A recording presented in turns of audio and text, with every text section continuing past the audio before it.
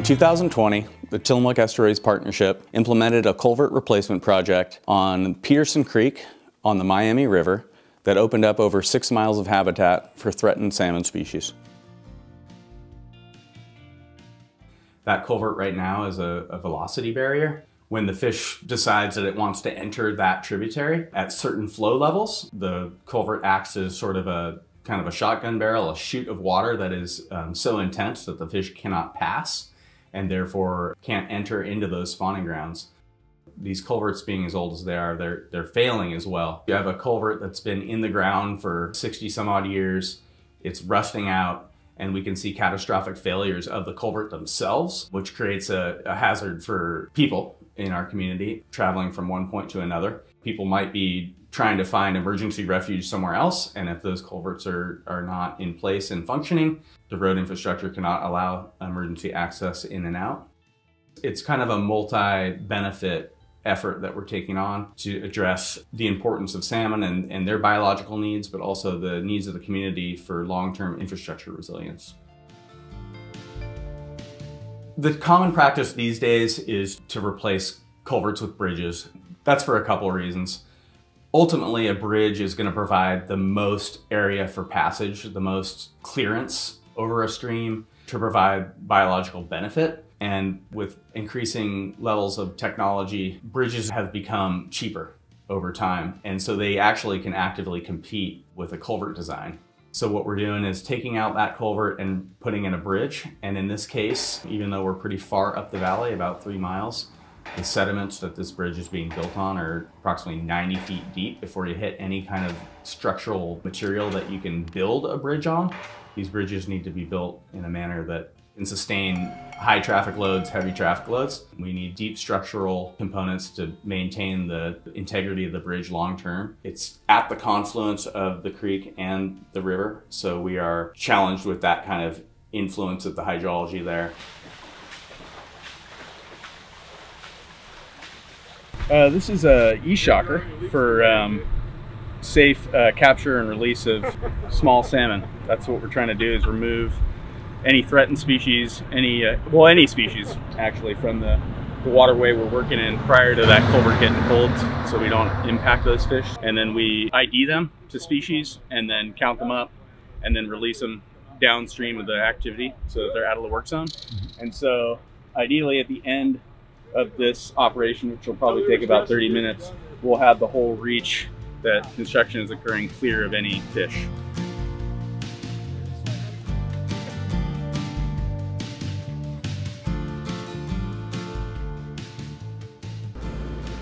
You know, as always, I'd have to say that one of the most significant moments in the project was when the culvert was finally pulled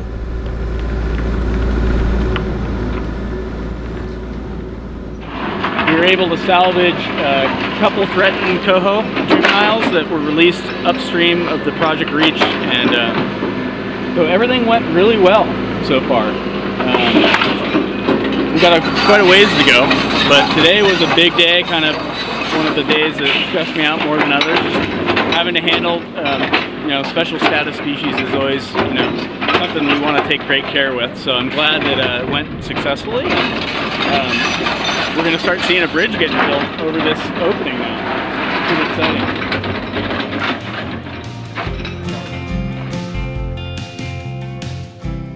So foundations such as this, we have driven piles or 16 inch diameter steel piles that are driven 50 feet into the ground. Um, and then that is uh, topped with a concrete. This is all the rebar that goes into the concrete structure. It's concrete, and then on top of that is our beams. So these are 21 inch uh, thick slab beams, and that's what actually carries the surface. When it's all said and done, there'll be some asphalt that goes on top of it, the guardrail.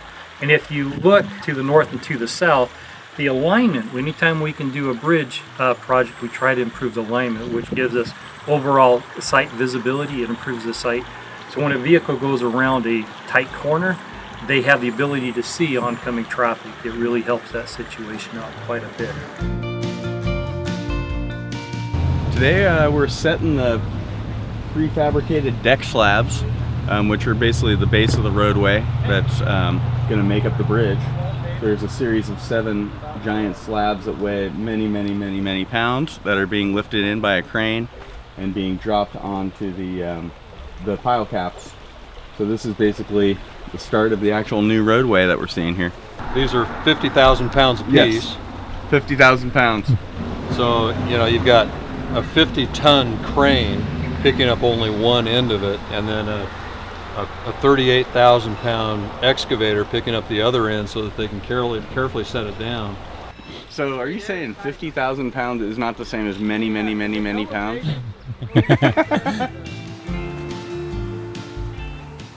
This is a, a, broad partnership effort. This project is actually part of the Salmon Superhighway effort, which is an effort within the Tillamook and Nestucca Bay basins, looking at addressing all of the priority fish passage culverts that are out there that need replacing.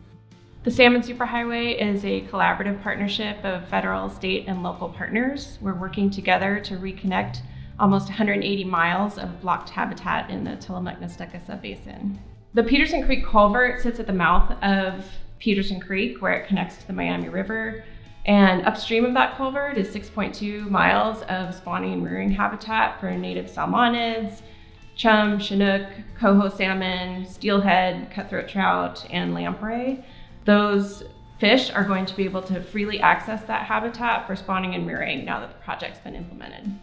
We have great support from the community, especially Tillamook County because our projects not only help fish and aquatic ecosystems, but also they have a huge community and economic benefit as well. So we're sitting here now with a, a finished bridge structure um, in the beginning of October. Um, the Peterson Creek Culvert Replacement Project started uh, July 1st of 2020 and behind us here we have the finished bridge um, a pretty substantial structure. These structures are supposed to last up to 100 years um, in place without needing major maintenance. Um, and so over the two months, the project was largely right on time. So we're really pleased with with the efficiency of the of the build and the fact that given some of the challenge we faced, it was on time. We place native river rock on the surface of all the stream that was rebuilt and that will entrain with floods and mimic the natural stream rack that's already here. Chum salmon, coho salmon, or chinook salmon, they may try to spawn right here under the bridge this year um, due to all this great gravel material that's located here. Another thing that we implement is we'll put in what we call habitat rocks, and they're larger pieces of rock material that are much less likely to, to move in a storm. And what that does is provides hydraulic refuge for the fish when they encountered that culvert, especially at high flow, that velocity might be beyond their ability to swim against. So they're determined and they will try and they will try and they will try and in many times that can actually exhaust the fish to the point where they might not um, successfully reproduce. Birds, mammals like deer and elk can use an opening like this where they would have had to cross the road before and potentially get injured doing so. This has basically created a situation where the salmon and other wildlife that would want to move through this area can do so more freely. And you know, it really does affect other species than just salmon. It's been a few months since the bridge was completed, and we've already seen some heavy rain and high water flows. The bridge has performed really successfully, and we've seen multiple spawning groups of salmon upstream of the bridge structure. We've successfully built a bridge that's going to serve this community for many, many years to come. And even more importantly, we have reconnected habitat that's going to ensure the survival of Pacific salmon in the Northwest for generations.